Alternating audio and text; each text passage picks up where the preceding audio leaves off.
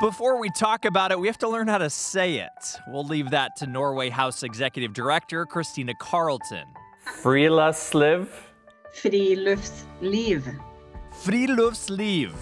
I hope I'm saying that right. The Norwegian word translates to free air life, getting outdoors and enjoying nature no matter the weather. I mean, it's ingrained into our culture. As a kid, I didn't even think much about it. I mean, it was just just part of of, of life. Christina grew up in Norway and says friluftsliv also about respecting and honoring the outdoors.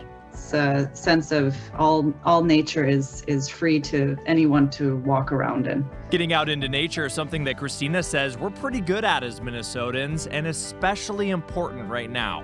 Crucial that we uh, take advantage of the daylight. And in Minnesota, lots of ways to do that, even despite COVID. Whether it's cross country skiing at Theodore Wirth Park, fat tire biking at Cuyuna Country State Recreation Area up near Brainerd, or snowshoeing at a state or local park in the Twin Cities. Make sure you surround yourself with lots of candles and make that cozy environment uh, if you are indoors. But uh, get outdoors and, and, at least once a day.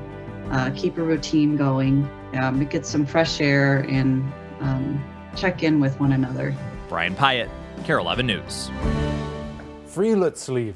Friluftsliv. Something like that. We tried. Next week, we go cross country skiing at Elm Creek Winter Recreation Area in Maple Grove. And we also go fat tire biking and take a plunge in an ice water tub and much more over the coming weeks. Yeah, and we're hoping that you'll be inspired to explore the winter wonder around you. Uh, the code word winter could be the ticket to your next getaway. Use it to enter our contest where one winner will get a prize pack including 50 bucks worth of True North scratch game tickets plus some great swag. Get the full details at kare11.com slash winter wonder. All right.